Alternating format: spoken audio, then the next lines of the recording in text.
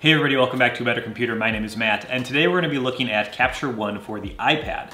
Now, for those who don't know, Capture One is a photo editing app in the vein of something like Adobe Lightroom, and it's getting a lot of buzz. I feel like it's gaining momentum over the last couple years. I feel like I keep hearing more and more about it. And one of the reasons I personally haven't gotten into it just to really give it a fair shake myself is because it only runs on the desktop, so only Mac OS and Windows. And I personally like to edit my photos on this. I really like editing photos on the iPad because I can, it just has a great screen. I like doing it with touch. I like using the Apple Pencil for it. And I wasn't able to do that with Capture One, so it wasn't that appealing to me as an overall package the way Lightroom is, which whether you like it or not, is basically the same interface across the Mac, iPad, and even the iPhone. So when Capture One recently announced that they were releasing an iPad app, I was interested immediately. So I signed up, I just got into the beta. I don't know if they're accepting new people into the beta right now, so hopefully this video will be helpful if you aren't able to get into it.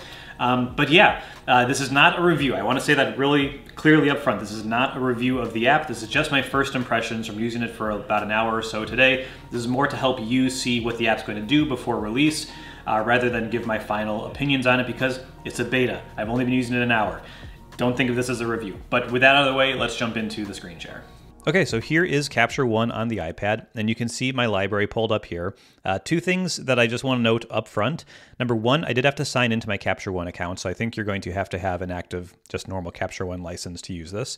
Um, and number two is there's no way, as far as I can tell, to sync my catalog from my Mac over to the iPad. So these have to be manually imported on each device. So over here in the import options, I see photos and I see files. If I hit photos, it brings up the photo picker where I can just pick a photo from my uh, photo library and import that. Uh, the files is going to be the same thing. It's going to bring up the file picker and I'll just be able to pick files on my iPad.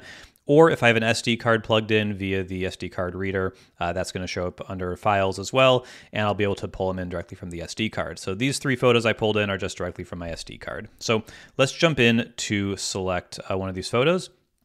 And the basic layout of the app is you have the film strip at the bottom, so that's going to be familiar to a lot of people. Um, up in the top left, you have the ability to go back, as well as the ability to set some filters or to change the order of the film strip. Uh, so it's just by capture date, but I could change uh, by any of those. Uh, at the top right, you have your like reset, which is this kind of full uh, circle arrow. Uh, you have undo, redo. You can select multiple photos. You can share it. You can trash it. And then there's settings for uh, switching the tools around turn the histogram on or off, and then some very basic settings. There's basically no settings, so I'm not even going to go in there um, right now. But yeah, there's not much to change. Uh, at the bottom right, you have the ability to copy or paste uh, adjustments. You can hide the film strip if you'd like. And over here on the far left, you have the controls. So these are the things you're changing. So you can see the first one is selected, and this is the star rating. So I can set it five stars, three stars, whatever. Um, I'm just going to make it no stars here. Um, so you can do that if you want to kind of go through them and kind of set the star rating. Uh, you have some presets here in the first one. So these are just your normal kind of presets, and you can apply multiple of them if you'd like, uh, and then undo those and everything. Um, so you can kind of just go through these. I don't know how I import my own. I would assume that I'd be able to import my own presets, but I haven't been able to find a way to do this.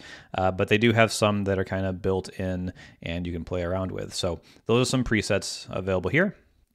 Next up is the cropping tool. Uh, so you can just do kind of drag with your finger and you can crop. I actually have it locked to a square right now. So if I go here, you can see it's square. I can keep it to the original or I can freeform rotate it. If I go to freeform, then I can make it whatever I'd like. Uh, I actually kind of like the framing of this one, but maybe I have too much at the top, so let's go ahead and do that. Uh, if I want to rotate it, this is where we get into uh, kind of how all the controls work. I hold my thumb here and then I can drag up and down to rotate the photo. And once I'm happy with whatever the rotation is, I'm just done. So I'll tap the icon on the left again, and there we go. Now we get into the normal adjustments, right? So if I click on this one or this one, these are going to be kind of your normal adjustment tools you're used to in a photo editor. And so I can just toggle it to black and white, and there's a ton of controls here. I'll untoggle that, uh, and then I can go into white balance. I can change the um, the white balance here. I can change the tint so to whatever I want. Uh, there is an eyedrop picker, so I can pick a gray spot on the photo. All that kind of works. If I go to exposure, all my tools are here. And again, kind of you just tap the one on the left with your left thumb, and with your right thumb, you kind of tweak, you just slide up and down on this spinner to get things how you want it to be. So um, the contrast we'll do kind of there. What I really want to do is raise the shadows. So there's this HDR section, tap on shadows, and I'm going to raise the shadows. And there we go. We're starting to see his eyes come out a little bit. Um, the whites, maybe I'll bring those down a smidge. And then the highlights I can actually bring up maybe. I'm I'm really just making random changes. They're pretty subtle actually right here. I feel like I'm not making a huge difference, but yeah, so clarity is here, dehaze, color editor, um, so I can change individual colors, um, or I can change all of them. Um, again, the hue, the saturation, and uh, yeah, it's just kind of these these are they're basically the controls you would expect, but they're not sliders like they are in the desktop or they are in Lightroom. You're kind of using this drag up and down. Um, I will also say there are no keyboard shortcuts, so as far as I can tell, there's no keyboard shortcuts. You can't control this with your keyboard.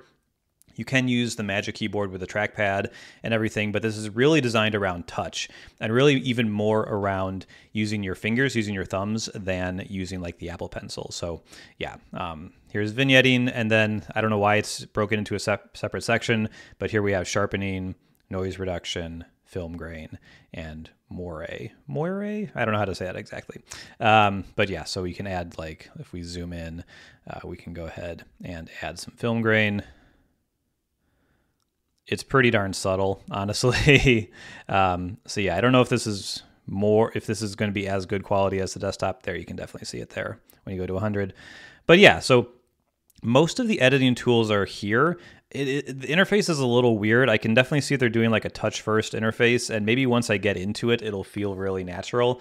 But I really, I was kind of hoping this would be the desktop interface more directly kind of replicated here. There's no customization options right now, for example. There's no way for me to like choose the ones that I like the most and drag them to the top. Um, it's all kind of just whatever it is, is what it is. Um, and maybe that's fine, but yeah, it's not totally perfect. Um, so if I wanted to copy these settings, I would just hit this button down here my adjustments have been copied. I can switch over to this picture and paste them here, right? So that all works uh, pretty nicely. So yeah, that's kind of all it does. Uh, there's no way, again, for me to uh, do anything with these like with syncing them to my Mac or anything, basically once I'm done, I just hit the share button and then I can choose to share. I can change the name.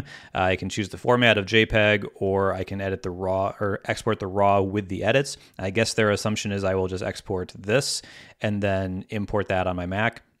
It's not ideal. Um, and then I can choose the resolution, the quality. It gives me an estimation for the file size, um, and I can put a watermark on there if I like. So yeah, that's Capture One for the iPad. Um, again, it's maybe not exactly what you were expecting. It wasn't quite what I was expecting. And I'll see what it's like to use it more and more. But in my first impressions, I do feel it's slower than Lightroom. It's slower than the more traditional controls that we're used to on the desktop or on Lightroom on the iPad.